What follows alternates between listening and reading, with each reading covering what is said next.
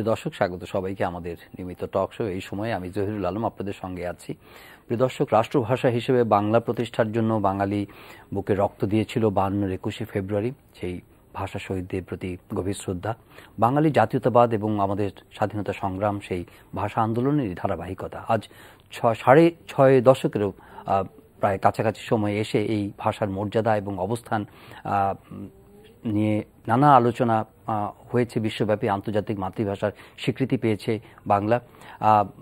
আজকের এই ছোট পরিসরে সে নিয়ে আমরা আলাপ করব। সর্বস্তরে বাংলা ভাষা প্রচলন নিয়ে আমাদের আইন রয়েছে। উচ্চ আদালতে ভাষার বিকৃতি রোধে নানা নির্দেশনা রয়েছে। কিন্তু সেগুলোর কতটা বাস্তবায়ন হতে দেখছি আমরা? বরং অনেক সময় আমরা অনেককেই দুঃখ করে বলতে শুনি যে, এবং এটা অস্বীকার করার উপায় নেই যে বাংলার ওপর এখন নানা বিদেশি ভাষা যেমন হিন্দি, ইংরেজির প্রভাব এবং এক ধরনের চোরাগপ্তা আক্রমণ আসছে। আমাদের ব্যবহারিক জীবনে ভাষার ক্ষেত্রে এক ধরনের উন্নাসিকতা কিংবা অরাজকতার কথাও বা অভিযোগও শোনা যায়। যে ভাষার জন্য আমাদের বীর তরুণেরা সেদিন রক্ত দিয়েছিল, তাদের প্রতি যথাযথ সম্মান প্রদর্শন আমরা করছি বটে, কিন্তু ভাষাকে আমরা কতটা জোরালোভাবে প্রতিষ্ঠা করছি এবং সে নিয়ে আমাদের কি করণীয় রয়েছে সেগুলো আলাপ করবার জন্য স্টুডিওতে আমন্ত্রণ জানিয়েছি। দুজন অতিথিকে রয়েছেন প্রফেসর ডক্টর সলিমুল্লাহ, স্বাগত আপনাকে। রয়েছেন জনাব মশিউল আলম, লেখক এবং সাংবাদিক, স্বাগত আপনাকে। প্রফেসর সলিমুল্লাহ আমরা ভাষা শহীদদের প্রতি প্রতি বছরই শ্রদ্ধাবনত হই, শ্রদ্ধা জানাই। কিন্তু আবার একই সঙ্গে বাংলা নিয়ে আমাদের আশা, হতাশা দুটোই আছে। ডেফিনেটলি বাংলা আমাদের মাতৃভাষা। এবং আন্তর্জাতিক স্বীকৃতিও আমরা পেয়েছি। কিন্তু ভাষা হিসেবে অনেক সময় বলা হয় যে, আমাদের সে ক্ষুদ্র জাতিগোষ্ঠীর যে ভাষা, সেটা বাংলার কাছে মার খাচ্ছে। আবার এটাও বলে যে, বাংলা আবার ইংরেজির কাছে মার খাচ্ছে। ইংরেজিও আমরা যেটা বলি, সেটা আবার আমরা প্রতিবেশী কিংবা ভারত, শ্রীলঙ্কা, তাদের কাছে মার খাচ্ছে। কিন্তু আসলে বাংলা তার স্বকীয়তা নিয়ে কীভাবে এগোচ্ছে? আপনার কি বিশ্লেষণ? উনিশশো বাহান্ন সনের যে আন্দোলন নিয়ে এখন আমরা কথা বলছি সেটা তো পঁয়ষট্টি বছর হলো, আপনি নিজেই বলেছেন। এর মধ্যে দুইটা উল্লেখযোগ্য পরিবর্তন হয়েছে। বাহান্ন থেকে বাষট্টি সন পর্যন্ত এটা এক ধরনের শোক দিবস হিসেবে পালন করা হতো এবং লোকজন খালি পায়ে জুতো অনেকে হাতে নিয়ে অনেকে জুতো ছাড়াই শহীদ মিনারে যেতেন সেখান থেকে একটা দুটো ফুল নিয়ে তারা আজিমপুর কবরস্থানে যেতেন আসতেন। তখন তার মধ্যে ইংরেজিতে যাকে বলে সোলেমনিটি একটা পবিত্র গাম্ভীর্য ছিল। উনিশশো বাহাত্তরের পর যেহেতু আমাদের রাষ্ট্র কায়েম হয়েছে তখন থেকেই স্বাভাবিকভাবেই রাষ্ট্র এটাকে জাতীয় ছুটির দিবস হিসেবে ঘোষণা করেছেন এবং অন্যান্য অনুষ্ঠান হয়। ফলে রাষ্ট্রের যারা কর্তা ব্যক্তি, তাদেরকেও শহীদ মিনারে যেতে হয়। সুতরাং নিরাপত্তার খাতিরে সেখানে পুলিশ চোখে পড়ে বেশি। এখন আরেকটা পরিবর্তন হয়েছে, ভোরবেলার মিছিল, যেটাকে প্রভাত ফেরি বলতাম তার জায়গায় এখন মধ্যরাতে প্রথম প্রহর চালু হয়েছে। এগুলি পরিবর্তন বাহ্যিক, কিন্তু অন্তরে কি পরিবর্তন হয়েছে? পরিবর্তন হচ্ছে আমাদের মূল আন্দোলনটা ছিল বাংলাকে নতুন রাষ্ট্র পাকিস্তানের অন্যতম রাষ্ট্রভাষা করার জন্য, একমাত্র রাষ্ট্রভাষা করার জন্য নয়। যেমন ভারতে সেই আন্দোলনটা হয়নি।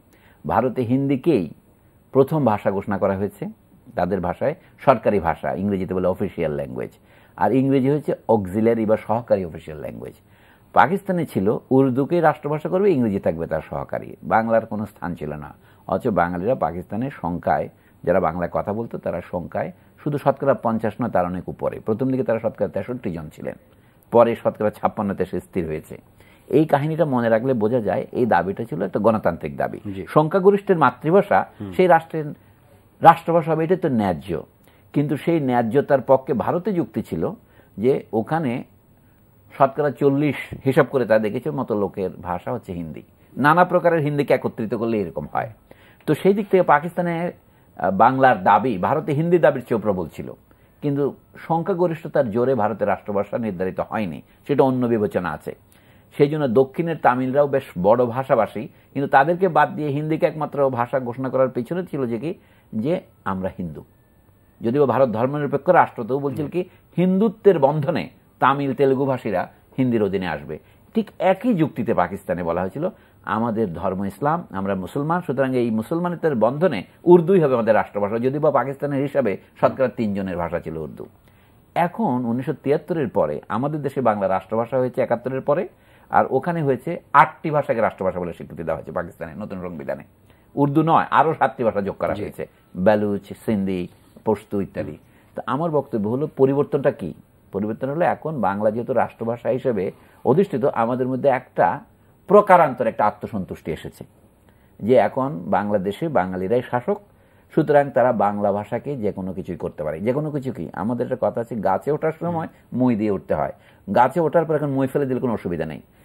আমি একটা উদাহরণ দিই। উনিশশো আটচল্লিশ এই আন্দোলন যখন শুরু হয় ঢাকার বুদ্ধিজীবী মহলে, যাদেরকে তখন আমরা ছাত্র বলতাম, ছাত্র বুদ্ধিজীবী, তাদের দাবি ঢাকা শহরে সমর্থন পেয়েছে আংশিক।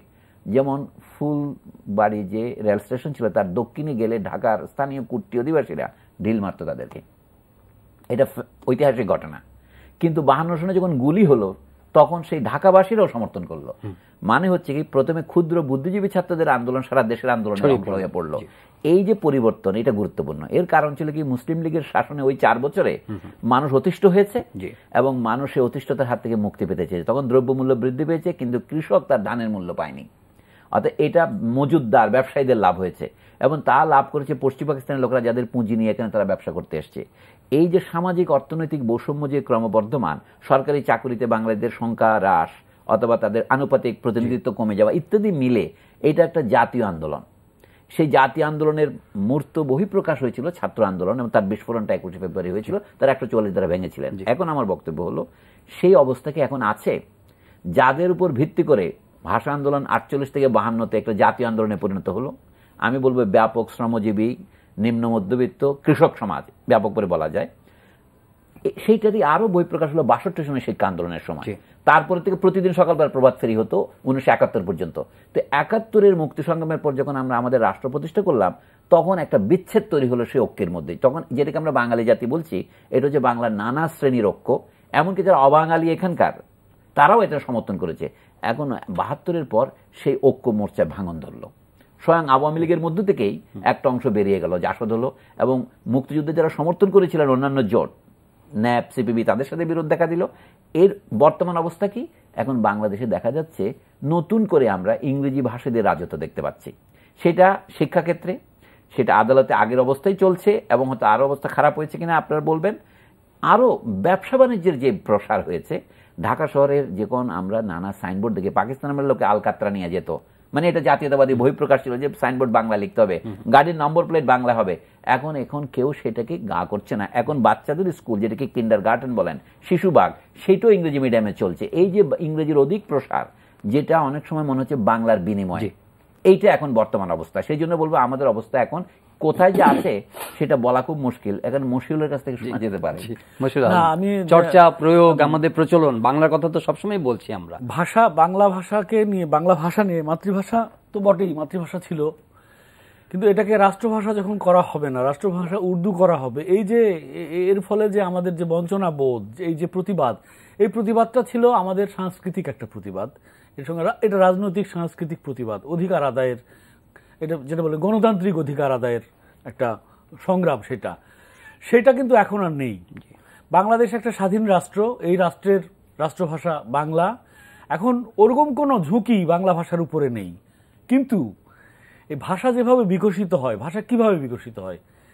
প্রমিত ভাষা। প্রমিত ভাষা বিকশিত হয় এই ভাষার ব্যবহারের মধ্য দিয়ে। এই ভাষা ব্যবহৃত, ব্যবহার করে শিক্ষিত জনগোষ্ঠী। আমাদের জ্ঞান, বিজ্ঞান, চর্চায়, পড়াশোনায় এই যে সরকারি কাজে ব্যবসা বাণিজ্যের কাজে সমস্ত কাজে যেটাকে আমরা সর্বস্তরে বাংলার প্রচলনের কথা বলছি সেটা আসলে এই পদ্ধ মানে মানে সুপরিকল্পিতভাবে মানে এটা করা হয়নি। এটা এটা আমাদের জাতি গঠন প্রক্রিয়ার ভত- ভেতরে এই জিনিসটা শুরু থেকে সেভাবে আসে নাই। এখন আমরা যদি মানে মাধ্যমিক এবং উচ্চ মাধ্যমিক পর্যায় পর্যন্ত বাংলায় একসময় পড়াশোনা হয়েছে এখনও হয় তারপরে উচ্চশিক্ষায় যখন গেছি আমরা তখন কিন্তু আমরা যে উচ্চশিক্ষায় এই যে বিদ্যাগুলো সেই বিদ্যাগুলো যে বাংলায় পড়ব সেজন্য যে পাঠ্যপুস্তক প্রণয়ন করা দরকার সেজন্য যে পরিভাষা তৈরি করা দরকার এই বুনিয়াদী কাজগুলো আমাদের হয়তোবা শুরু হয়েছিল কিন্তু এটা বিকশিত হয়নি। বিকশিত। তার ফলে এবং যখন ব্যবসা বাণিজ্যের প্রসার ঘটলো আমরা যে যখন অর্থনৈতিকভাবে উন্নত হতে শুরু করলাম এবং বহির্বিশ্বের সঙ্গে আমাদের যোগাযোগ বৃদ্ধি পেতে থাকল তখন দেখা যাচ্ছে যে বাংলা সেখানে কোনো কাজে লাগছে না ইংরেজিটা আমাদের প্রধান ভাষা হয়ে উঠছে এবং ইংরেজিতে যে যত পারঙ্গম সে তত ভালো করছে পেশাগতভাবে গবেষণায় মানুষের সঙ্গে যোগাযোগের ক্ষেত্রে। সেই কারণে সলিমা যেটা বললেন যে আমাদের ব্যবসা বাণিজ্য আমাদের সমস্ত কিছুতে ইংরেজির অধিগ্রহণ ঘটেছে। এইটাই হচ্ছে আমাদের জন্য সবচেয়ে বড় দুঃখের বিষয় যে আমরা যে ভাষাকে ভালোবাসি বলে বলছি সেই ভাষার সর্বস্তরের প্রচলনের জন্য যা যা করা দরকার ছিল রাষ্ট্রীয় পর্যায়ে এবং প্রাতিষ্ঠানিক অন্যান্য প্রাতিষ্ঠানিক পর্যায়ে বেসরকারি পর্যায়ে সেই সেই কিন্তু এই অধিগ্রহণ বা এই ভাষিক বৈষম্য শিক্ষাক্ষেত্রে বিশেষ করে তারপরে আপনার কর্মজীবনে বা ব্যবসা বাণিজ্যের ক্ষেত্রে এর ঝুঁকিটা কি? ঝুঁকি ভাষার যে বিকাশ আমরা প্রত্যাশা করেছি বাংলা ভাষা হয়তো এখন শুধু মুখের ভাষা হিসেবে রয়ে যাবে। এটা দিয়ে কোনো কাজ চলবে না। আচ্ছা আমি একটু যোগ করি তাহলে এর সাথে। ঝুঁকিটা আমি বলি। ধরুন উদাহরণস্বরূপ বিশ্ববিদ্যালয়ে আমরা বিজ্ঞান পড়াই। এখন বিজ্ঞান বা ধরুন আমাদের সবচেয়ে ভালো বিজ্ঞান হচ্ছে আমাদের জানা বিজ্ঞান চিকিৎসা বিজ্ঞান। তো চিকিৎসা বিজ্ঞানের বড় বড় বই যেগুলো আছে অ্যানাটমি আমরা গ্রেজ অ্যানাটমি পড়ি। এটা ইংরেজিতে লেখা হয়েছে কিন্তু তিনশো বছর আগে তো লেখা হয়নি। তখন কি ছিল লেটিনে লেখা ছিল এর আগে আরবিতে লেখা ছিল। একটা ভাষা যখন বিজ্ঞান শিক্ষা দিতে হয় তখন তার ট্যাক্স বই তৈরি হয়। এখন বাংলাদেশের সমস্যা যে ডিম আগে না মুরগি আগে আমরা যদি বলি ধরুন আপনি যদি বিশ্ববিদ্যালয়ের শিক্ষার মাধ্যম আজকে ধরেন করলেন বাংলা কিন্তু বাংলা বই নাই। তখন যেহেতু দেশে পঞ্চাশটা মেডিকেল কলেজ বা বিশ্ববিদ্যালয় এই চাবিদা এই চাহিদা তৈরি করবে তখন অর্ধেক ইংরেজি অর্ধেক বাংলা বই লেখা হবে। এর পরের ভাগ চার ভাগের তিন ভাগ বাংলা আরেক ভাগ ইংরেজি হবে। শেষে একশো বছর পরে দেখবেন সবগুলোই বাংলায় হবে। কিন্তু যদি আপনি সেই সুযোগটাই না দেন এখন আমরা ভারত থেকে বা মার্কিন দেশ থেকে ট্যাক্স বই আমদানি করে মেডিকেলে পড়াচ্ছি। তাহলে সেটা সেটা থেকে যাচ্ছে। আরেকটা অসুখ বলি ঢাকা বিশ্ববিদ্যালয় তৈরি হয়েছে প্রায় একশো বছর। আর কয়েক বছর বাকি আছে। তো ঢাকা বিশ্ববিদ্যালয়ে ধরেন একটা বিভাগ আছে অর্থনীতি বিভাগ। সেই শুরুর থেকে ছিল। প্রথমে ছিল অর্থনীতি ও রাজনীতি যৌথ বিভাগ। সেখান থেকে রাজনীতি আলাদা হলো। অর্থনীতি আলাদা হয়ে যাওয়ার পরে রাজনীতিটা রয়ে গেল। আবার সেখান থেকে পাবলিক অ্যাডমিনিস্ট্রেশন তৈরি হলো। সেখান থেকে ইন্টারন্যাশনাল রিলেশন তৈরি হলো। আমি সেই জন্য বলব যে একশো বছর দীর্ঘ এই বিভাগে অর্থনীতি শাস্ত্রের বড় বড় পণ্ডিত যারা যেমন আদম স্মিথ অথবা ডেভিড রিকার্ডো তাদের বই কেউ বাংলা করেনি। আমাদের অর্থনীতিবিদরা যে ইংরেজিগুলি পড়ে বোঝেন তার প্রমাণস্বরূপ তাদের বাংলায় প্রমাণ করে দেখা উচিত ছিল আমি এটা অনুবাদ করতে পারি। আমরা যে সেটা করতে পারি না জাতিগতভাবে তখন ছিল ব্রিটিশ আমল তারপরে ছিল পাকিস্তান আমল বাংলাদেশ হওয়ার পরে তো পঞ্চাশ বছরের কাছাকাছি হতে চলল। কিন্তু এখনও কেউ এটা অনুবাদ করে না কেন? বলে চাহিদা নেই। চাহিদা থাকবে না এখন। আপনি তো এতগুলি কলেজে অর্থনীতি পড়ান তাহলে কলেজের ছাত্ররা তো পড়তে চায়। এটা অনুবাদ করলে চলতো। কিন্তু যদি আপনি তাকে উৎসাহিত না করেন তাহলে কোনোদিনই আমাদের পাঠ্য বই তৈরি হবে না। ফলে প্রথম ক্ষতির ঝুঁকি হচ্ছে বাংলা সাহিত্য শুধুমাত্র গল্প উপন্যাস কেন্দ্রিকে থেকে যাবে। জ্ঞান বিজ্ঞানের সাহিত্য বাংলায় কম হবে। এটা হচ্ছে একটা নগদ ক্ষতি। ফলে আমাদের যে প্রকাশনা শিল্প সেটাও ক্ষতিগ্রস্ত হবে। তাহলে যে ভাষায় জ্ঞান বিজ্ঞান নেই সেই ভাষা বিদেশের লোক শিখবে কেন? আমরা কষ্ট করে ফরাসি শিখতে চাই কেন? না পারলেও। কারণ ফরাসি ভাষা উল্লেখযোগ্য সাহিত্যিকরা শুধু আছেন তা নন বৈজ্ঞানিকরা আছেন দার্শনিকরা আছেন। এত জার্মান ভাষার এত সুনাম কেন? জার্মান ভাষায় সঙ্গীতজ্ঞরা আছেন বড় বড় দার্শনিকরা আছেন গেটে শিলারের মতো কবিরা আছেন। রুশ ভাষার এত মজা কেন? যে দেশে বড় সাহিত্য তৈরি হয় না। আচ্ছা রুশরা যদি তাদের রুশ ভাষায় চাঁদে মানুষ পাঠাতে পারে সমস্ত কাজ হতে পারে তো আজকে না পারো বাংলা ভাষায় আমরা পঞ্চাশ বছর পারব না কেন? তো চিকিৎসা শাস্ত্র চীনা বা জাপানিরা তো। জি। আমাদের আরবিতেও এগুলো করা হতো। যে কোনো দেশে পৃথিবীতে এখনও ন্যায় বিচারের জন্য নিজের ভাষায় যদি আপনি বিচার না পান তাহলে ন্যায় বিচার হয় না। ইংরেজিতে একটা কথা আছে justice delayed is justice denied অর্থাৎ দেরি করে বিচার হলে সেটা বিচারই নয়। আর যে বিচারের ভাষা আপনি প্রার্থী হিসেবে নাও বোঝেন সেটা কিন্তু ন্যায় বিচার হতে পারে না। তো বর্তমানে রাষ্ট্র বলতে যেটা আমরা বুঝি তার একটা বড় অংশ হচ্ছে প্রশাসন আর একটা হচ্ছে আইনসভা আর একটা হচ্ছে বিচার বিভাগ। তা আমাদের এখানে আইনসভার আইনগুলো বাংলায় হতে শুরু করেছে এবং তাতে আমরা অসুবিধা পাচ্ছি না। আমাদের বিচার বিভাগে এখনও পুরো বাংলা করা হয় না এবং বিচারপতিরা নিজেরাই বলছেন যে আমরা এটা পারি নাই। সেইটা যদি আমরা আন্তরিকভাবে উপলব্ধি করতাম তাহলে আমরা শুধু ফেব্রুয়ারি মাসে শহীদ মেনারে গিয়ে ফুলের মালা দিয়েই কর্তব্য শেষ করতাম না। আমরা একটা প্রোগ্রাম ঘোষণা করতাম। এটাই হচ্ছে আমার এই মুহূর্তের বক্তব্য। সরকারের নীতিতেই একটা কোথাও গোজা মিলন আছে। গোজা মিলন এই অর্থে যে সরকার মুখে বলছে যে আমরা বাংলা ভাষার দাবি করছি জাতিসংঘের কাছে। কিন্তু সে কার্যক্ষেত্রে তার নিজের অধীনস্থ উচ্চ বিদ- বিদ্যালয়ে উচ্চ বিদ্যালয়ে শুধু নয় সমস্ত বিদ্যালয়ে প্রাথমিক বিদ্যালয় পর্যন্ত সেই বাংলা শিক্ষার মাধ্যম চালু করতে পারছে না। এখানে বিদেশি যারা আসবে তাদের শিক্ষার ব্যবস্থা এখানে আগেও ছিল। এখানে কি চিন্তার যথার্থ বিনিয়োগ নেই। আমি বলব যে এটা তো কঠিন কথা ভাই বুঝি না চিন্তার বিনিয়োগ জিনিসটা আমি না বুঝে তো মিথ্যা কথা বলতে পারব না। আমি যেটা বুঝি সেটা হচ্ছে কি কোনো জাতীয় শিক্ষানীতি নেই আমাদের। শিক্ষানীতির একটা অংশ হচ্ছে ভাষানীতি। এই না হলে আজকে আমাদের পাঠ্যক্রম এবং টেক্সট বুক বোর্ড যেটা বলে পাঠ্য বই তাদের বই এটাই আমাদের অদ্ভুত লাগে বাংলাদেশ হওয়ার পর বলে কি ইংরেজি মাধ্যমে দেশীয় শিক্ষা ইংলিশ ভার্সন এটা একটা পরাজয় শিকার এই দেশে শিক্ষাকে আমরা সবসময় বলেছি একমুখী শিক্ষা। একমুখী শিক্ষা মানে এই নয় যে সবাই বিজ্ঞান পড়বে বা সবাই ধর্ম পড়বে বা সবাই কলা পড়বে। নানা বিষয়ে আমরা নানা দিকে ছড়িয়ে পড়ব কিন্তু একই ধরনের সুযোগ সুবিধা সবার জন্য থাকবে একই মাধ্যমে সবাই পড়বে। হ্যাঁ যদি যারা বিদেশ থেকে আসে তাদের জন্য সবসময় বিশেষ স্কুল ছিল এগুলিকে ইন্টারন্যাশনাল স্কুল বলে। ঢাকা শহরে কয়টা ইন্টারন্যাশনাল স্কুল দরকার? যেখানে ডিপ্লোমেটদের ছেলেমেয়েরা পড়বে বিদেশি পড়বে সেইটাও একটা নীতির অংশ হতে পারে। কিন্তু আজকে আমাদের উপজেলা পর্যন্ত ইউনিয়ন পরিষদের লেভেল পর্যন্ত যেগুলিকে আমরা বলি শিশুবাগ কিন্ডার গার্টেন কত সুন্দর জার্মান শব্দ কিন্ডার গার্টেন সেই জায়গাগুলো এখন নষ্ট করে ফেলেছে। আপনি তিন বছরের শিশু বাচ্চা বাংলা হচ্ছে শিশুবাগ শিশুবাগ কিন্ডার মানে হচ্ছে বাচ্চাগণ মানে ইংরেজিতে যে চিলড্রেন বলে কিন্তু শিশুবাগ হিসেবে তো কেউ আমি জানি না। না এটাই আলোচনা- হ্যাঁ, শিশুবাগ বলা যেতে কিন্তু বলছি না। হ্যাঁ। আমি যেটাকে বলে বিশেষের অনুবাদ না করলেও চলে। যেমন টেলিভিশন অনুবাদ করে নিয়ে চেয়ার অনুবাদ করে নিয়ে চেয়ার অনুবাদ করে নিয়ে কিন্তু আমরা কথায় কথায় ক্রিয়ার মধ্যে হ্যাঁ আমরা যেভাবে বলি আমাকে ফোন করিস আমরা বলি। এটা তো উপায় নাই। ফোনটার অনুবাদ করার দরকার নেই। আমাকে দুরালাপনি করিস বলার দরকার আছে। এটা হচ্ছে অক্ষমের নানা যুক্তি যে বাংলায় যেহেতু প্রচুর ইংরেজি শব্দ আছে আমি তাদের বলতে পারি ইংরেজিতে প্রচুর ভারতীয় শব্দ আছে। সেটা সমস্যা নয়। শুধু এইটাই বলি আমরা যখন জাতীয়তাবাদের কথা বলি লোকে বলি তোমরা জাতীয়তাবাদী হয়েছে তোমরা কি বিশ্বায়নের বিরোধী? আমি বলছি ফরাসি জার্মানরা যখন তাদের ভাষাকে আঁকড়ে থাকে তখন তো তোমরা তাদেরকে বিশ্বায়নের বিরোধী বলো না। ফরাসি জার্মানদের ইংরেজিতে কথা বলতে কোনো অসুবিধা হয়? জাতিসংঘ বক্তৃতা তারা নিজেদের ভাষা দিতে পারে। এখন যে জাতিসংঘের ছয়টি ভাষা আছে তার মধ্যে আপনার ফরাসিদের ভাষা আছে সেখানে স্প্যানিশ ভাষা আছে। বাংলাও দাবি করছে। আজকে দেখলাম আওয়ামী লীগের সাধারণ সম্পাদকের নামে একটা খবর প্রচারিত হচ্ছে যে তিনি দাবি করেছেন জাতিসংঘের দাপ্তরিক ভাষা বাংলাকে করা হোক। আমি তাকে সবিনয় অনুরোধ করব আপনি বাংলাদেশের আদালতের ভাষা বাংলা গঠন নিশ্চয়তা দেন জাতিসংঘের ব্যাপারটা জাতিসংঘ দেখবে। আমরা কথা বলার ক্ষেত্রে কিংবা শিল্প সংস্কৃতি চর্চার ক্ষেত্রে অনেক সময় এবারে শৃঙ্খলা নিয়ে প্রশ্ন তুলি। যে নাটকে বা সিনেমাতে টেলিভিশনে ইভেন পত্রিকাতেও এখানে এই জিনিসটা মানে পর্যবেক্ষণ করার কি কোনো মেকানিজম আছে কিনা? না আমার মনে হয় যে টেলিভিশনে বা এফএম রেডিওগুলোতে এই যে এই, নাটক প্রচারের ক্ষেত্রে নাটকে বলা হয় যে নাটকে এইসব কি ভাষার বিশৃঙ্খলা এই যে কথ্য ভাষায় নাটক সংলাপ বলা হয় বা এই যে এখন ফেসবুকে যারা বার্তা বিনিময় করে তারা যে একেবারেই আঞ্চলিক শব্দ ব্যবহার করে প্রমিত ভাষা ব্যবহার করতে চায় না এবং এটাকে বাদ দিতে চায় এটা আসলে খুব বড় একটা মানে প্রবলেম না। ভাষা ভাষা খুব স্বত- স্বতঃস্ফূর্ত একটা ব্যাপার খুব প্রাণ মানে প্রাণসম্পন্ন স্বতঃস্ফূর্ত ভাবে এটা বিকশিত হয়। এটা নিয়ে খুব বেশি চিন্তিত হওয়ার নেই। আমার মানে মূল ব্যাপারটা হচ্ছে যে আমরা যে যে সলিম ভাই যেটা বলেন যেন ভাষার নীতি এই ভাষার নীতির আওতায় কি থাকবে? মানুষের কথা বলা নিয়ন্ত্রণ করার জন্য কিন্তু ভাষা নয়। ভাষা নীতি হচ্ছে যে আমরা প্রাতিষ্ঠানিকভাবে ভাষা কীভাবে ব্যবহার করব? আদালতে সরকারি কাজে শিক্ষা প্রতিষ্ঠানে। এইভাবে। সেইখানে এবং সবচেয়ে ইম্পর্টেন্ট হচ্ছে ওই যে পাঠ্যপুস্তক রচনা করা। একেবারে শুরু থেকে প্রাথমিক বিদ্যালয় থেকে শুরু করে বিশ্ববিদ্যালয় পর্যন্ত। আমার তো মনে হয় এখন আমাদের নীতি নির্ধারকেরা এবং আমাদের একাডেমিয়া মনে করেন যে আসলে উচ্চশিক্ষা বোধহয় উচ্চশিক্ষা আসলে মাতৃভাষায় সম্ভব না। এই এই সিদ্ধান্তে হয়তো মনে মনে অনেকে পৌঁছে গেছেন। ওই কারণে হাল ছেড়ে দিয়েছেন। বিশ্ববিদ্যালয়ের শিক্ষকরা এখন আর বাংলায় কিছু লিখতে চান না। তারা মনে করেন ইংরেজিতে শিক্ষার্থীরাও বক্তৃতা শুনতে চান না বাংলায় খুব।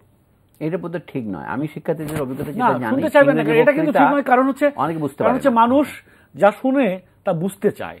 ইংরেজির চেয়ে বাংলা নিশ্চয়ই সহজে বুঝবে। এটা বইয়ের ক্ষেত্রেও পড়ে বোঝার ক্ষেত্রেও যা শোনার বোঝার ক্ষেত্রে তাহলে আপনি যদি বাংলায় একটা বিজ্ঞানের বই লেখেন পদার্থবিজ্ঞান বা রসায়নের বই যদি আপনি বাংলায় লেখেন এবং সেটা যদি শিক্ষার্থী বুঝতে পারে তাহলে তো ইংরেজিতে কষ্ট করে তার পড়ার প্রয়োজন নেই।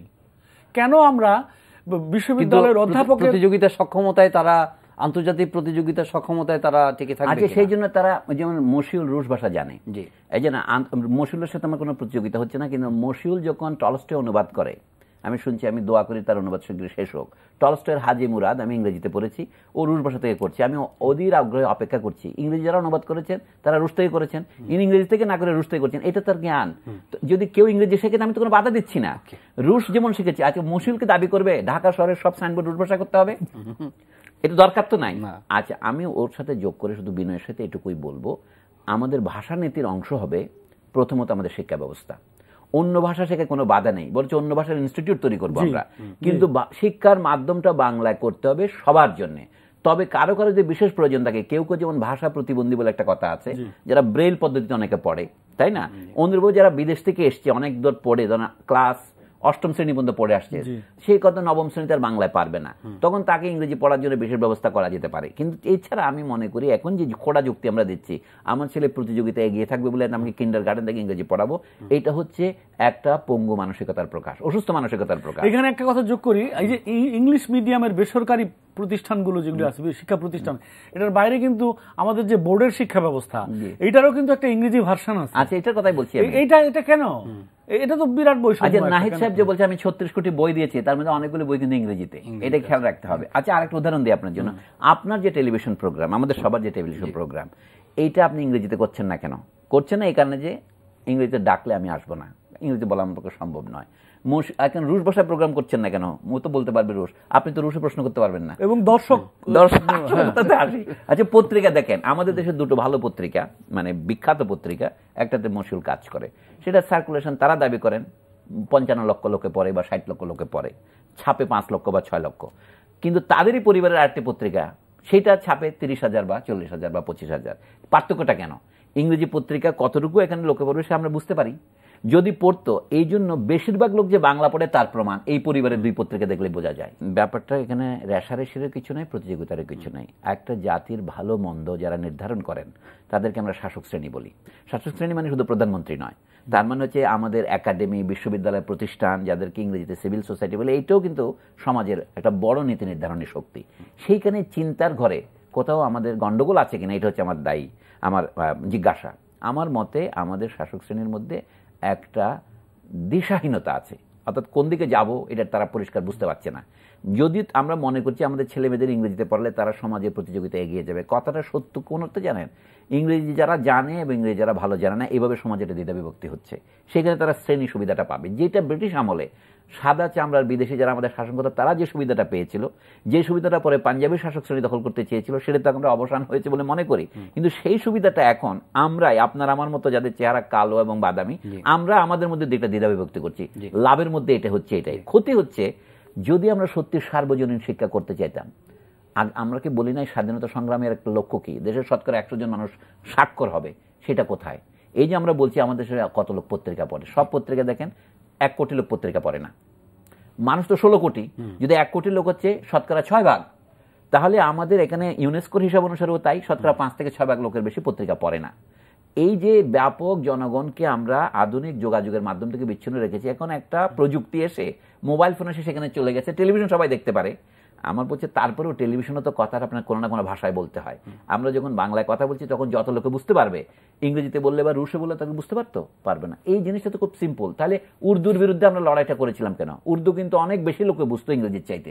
কিন্তু তারপরেও পাকিস্তানেরা দাবি করতো উর্দু সবাই বোঝে কিন্তু এই কথা সত্য নয়। ভারতে সবাই হিন্দি বোঝে না। এই জন্য আমি বলব বাংলা ভাষার প্রতি আমাদের যে অনুরাগ পাকিস্তান আমলে আমরা দেখিয়েছিলাম বাংলাদেশ আমলে সেটা কোথায় হঠাৎ হারিয়ে গেল কেন? এটা সবার কাছ থেকে হারায় নাই কিন্তু।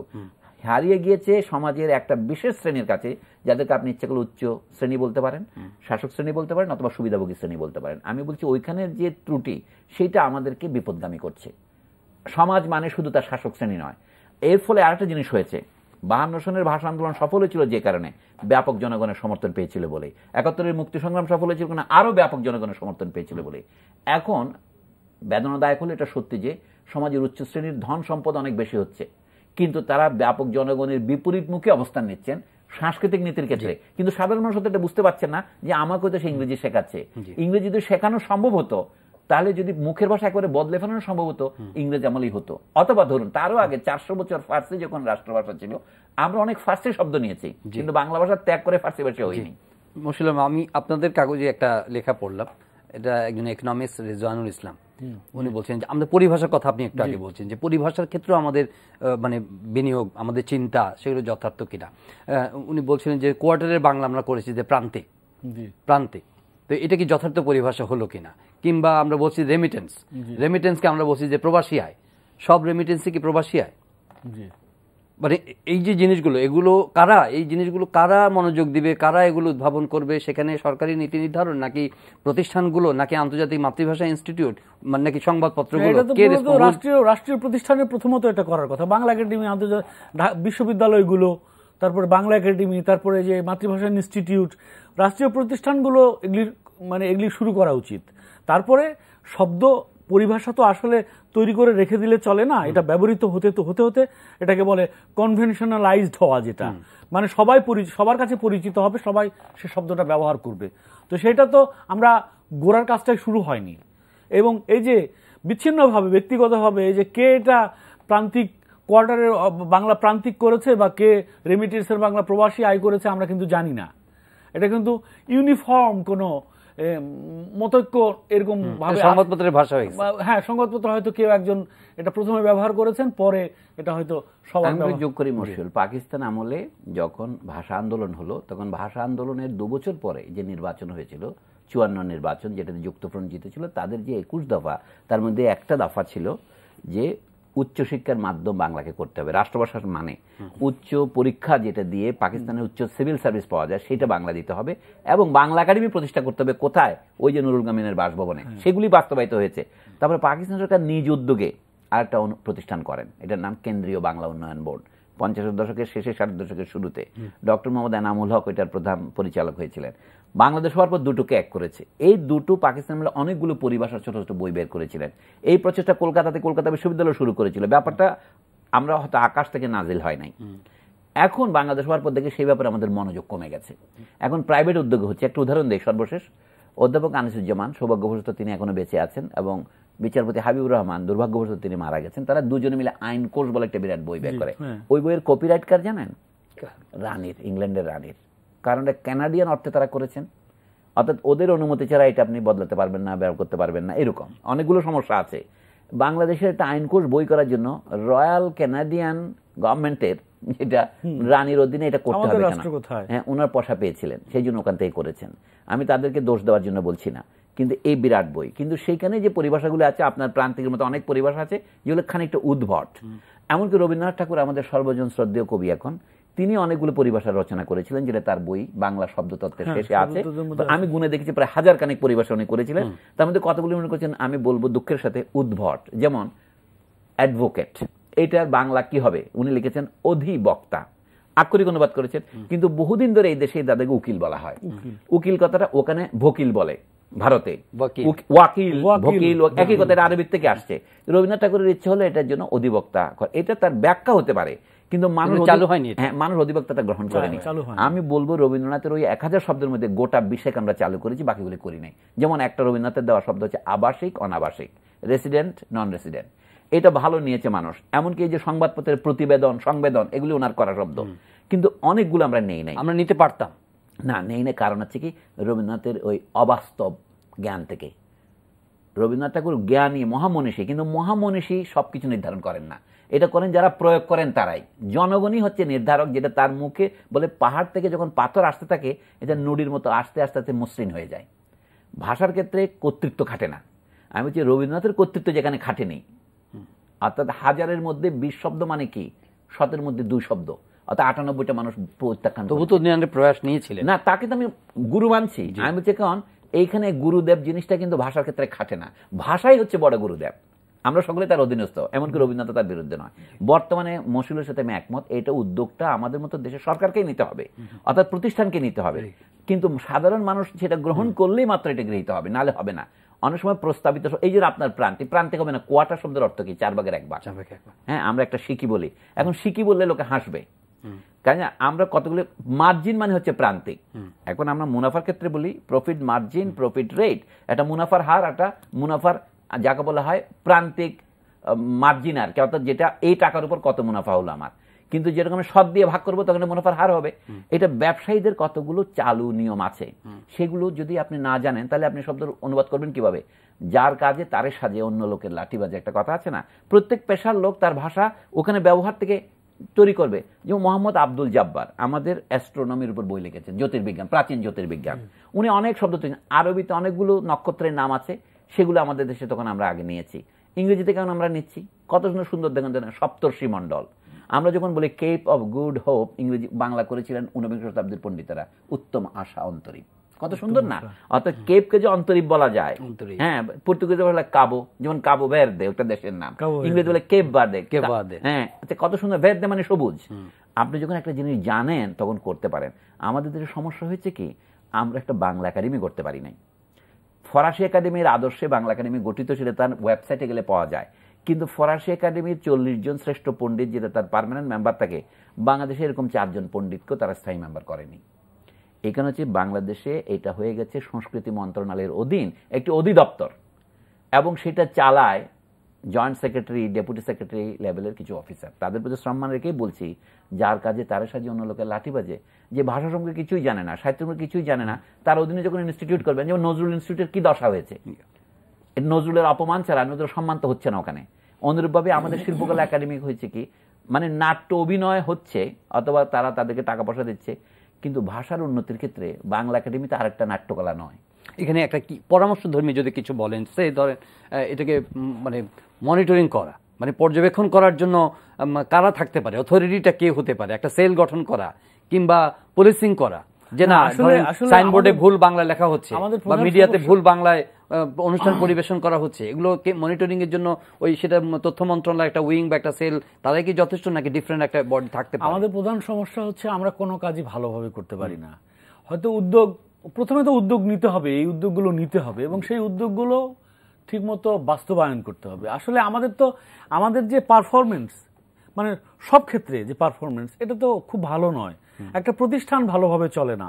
কোনো প্রতিষ্ঠানই ঠিকমতো চলে না। বাংলা একাডেমি এত জাতির মনন বলি। এই প্রতিষ্ঠানের কাজ আপনি আমি দেখছি। কীভাবে একটা প্রতিষ্ঠান চলে? এই যে শিল্পকলা একাডেমি বা নজরুল একাডেমি বা আন্তর্জাতিক মাতৃভাষা ইনস্টিটিউট বড় বড় প্রতিষ্ঠান এগুলি। এটা জাতীয় প্রতিষ্ঠান। এই প্রতিষ্ঠানগুলো তো আছে। এই প্রতিষ্ঠানগুলো তো মানে সঠিকভাবে যদি কাজ করে এবং সেখানে যদি দক্ষ লোকজন থাকেন এবং তারা যদি আন্তরিকভাবে কাজ করেন তাহলে এই কাজগুলো তো শুরু হতে পারে। এটাই আমার পরামর্শ যে আমরা যেন আন্তরিকভাবে এটাকে দায়িত্ব মনে করে এই কাজগুলো যেন সবাই করি। সেটাই সেটাই আমাদের, এই উপলব্ধিটা জায়গাটাই আমাদের প্রধান কাজ। চাঁদের একটা উল্টো পিঠ আছে। আমি বলছি, ঢাকা বিশ্ববিদ্যালয় একটা স্বায়ত্তশাসিত প্রতিষ্ঠান। পাকিস্তান আমলে অনেক লড়াই হয়েছে, এর স্বায়ত্তশাসন খর্ব করার জন্য সরকার চেষ্টা করেছিল। আমরা উনিশশো তিয়াত্তর সনের অধ্যাদেশ বলে বিশ্ববিদ্যালয়কে স্বায়ত্তশাসিত করেছি। তার মানে চেয়ারম্যানরা তিন বছরের জন্য নির্বাচিত হন। এখন শুধু প্রফেসর হওয়ার দরকার নাই, যারা সহকারী অধ্যাপক তারাও হতে পারবেন। এগুলি গণতান্ত্রিক দিক, কিন্তু তার একটা উল্টো পিঠ আছে। এরপর হচ্ছে বাংলা একাডেমিতে যে মহামনীষীদের নিয়োগ দেওয়া হয়, মহাপরিচালক, পরিচালক তারা বাংলাদেশ হওয়ার পর তাদের মহাপরিচালক বলা হচ্ছে, আগে কিন্তু পরিচালক ছিল। তারা সরকার কর্তৃক নিয়োজিত হন। তিন বছর পর পর তার পরিবর্তনের কথা। কিন্তু মাঝে মাঝে আমরাও আইন লঙ্ঘন করি কিনা দেখতে হবে। বাংলা একাডেমির বর্তমান অধ্যাদেশ অনুসারে আছে কি, একজন দুবারের বেশি মহাপরিচালক হতে পারবেন না। কিন্তু এখন আমি যদি প্রধানমন্ত্রী হই, আমার প্রিয় লোক থাকলে আমি একজন তিনবার নিয়োগ করি, আমি তো আইন ভঙ্গ করলাম।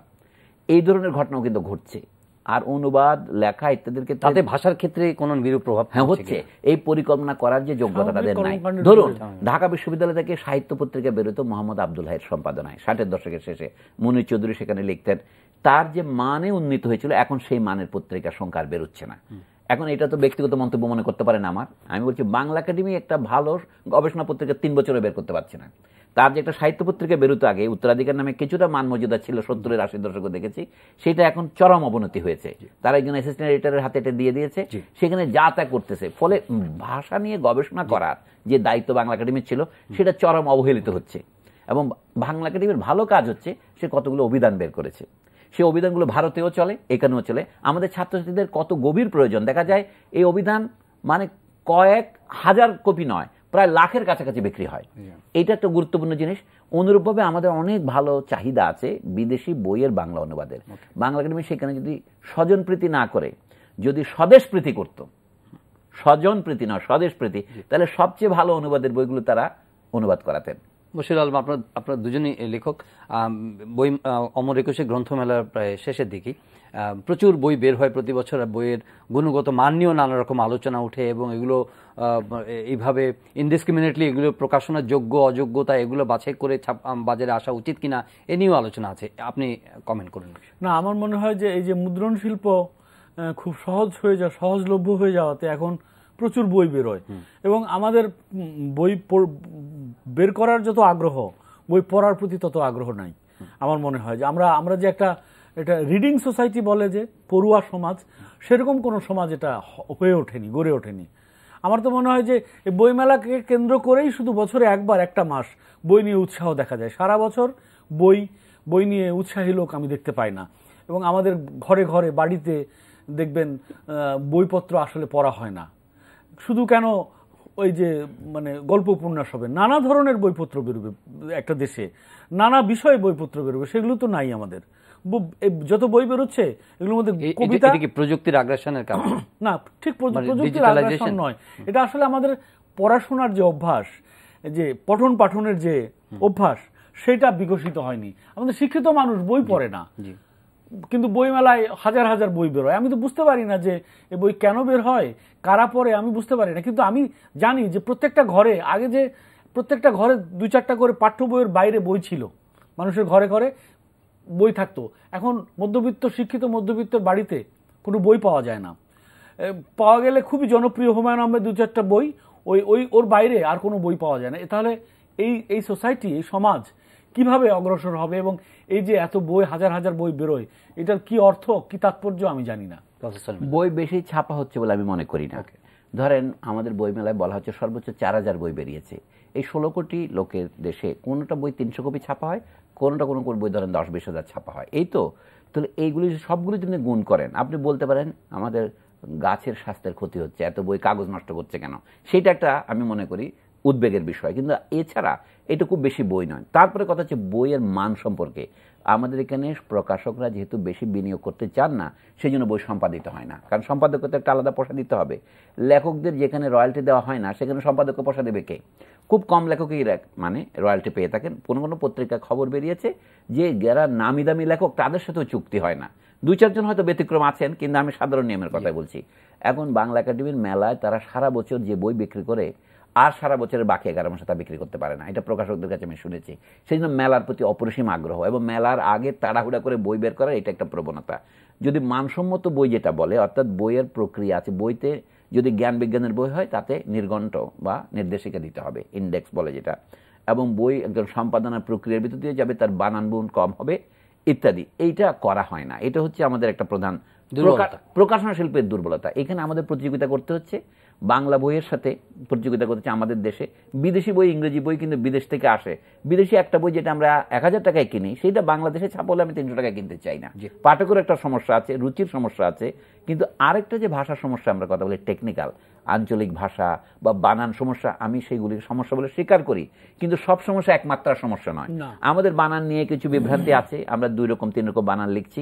সেটা যদি অনেক বই লিখি অনেক আলোচনা করি আমরা এটা ঠিক করতে পারব। আপনি বলছেন মনিটরিং ইনস্টিটিউশন সেল দিয়ে মনিটরিং হয় না।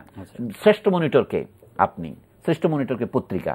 টেলিভিশনে যে আমাদের টক শো হয় এগুলির মান যদি আরেকটু ভালো হতো আমি টেলিভিশনের টক শো থেকে শুনতে পারি না আমারটা শুদ্ধ এত ইংরেজি কথা বলে এবং এটা শুনলে আমার লজ্জা লাগে। আমি আপনাদের কোন রকমের রিপ্লাই দেখ আমার নিজের টক শো অনেকগুলো আমি দেখেছি কোথায়? ইউটিউবে আছে। কিন্তু এগুলো শোনা যায় না। এত বেশি ইংরেজি বলি। মানে আমার কানেই লাগে আর কি। অন্যদেরগুলো আমি বলব না। তো এই জন্য আমাদের উচিত সবচেয়ে বড় গণতান্ত্রিক প্রতিষ্ঠান এখন আমি বলব সমস্ত ত্রুটি সত্ত্বেও পত্রিকা। পত্রিকায় যখন আলোচনা হয় তখন অনেক সাত খুনের খুনি ধরা পড়ে।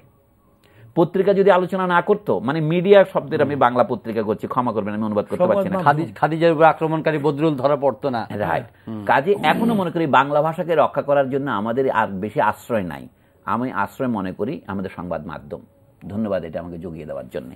আপনারা হ্যাঁ আপনারা যদি এটাতে মনিটর করেন নিজেরাই যে না এই বানানে হবে কিনা আমি একটা উদাহরণ দিয়ে বলি মশিউল যখন আছে সুযোগটা নেই এটা প্রতিশোধ মনে করেন না। আমরা বাংলায় কি বানান দীর্ঘইকের দিয়ে লেখা শুরু করেছি। কোন কতগুলি এই অর্থে কতগুলি ওই অর্থে।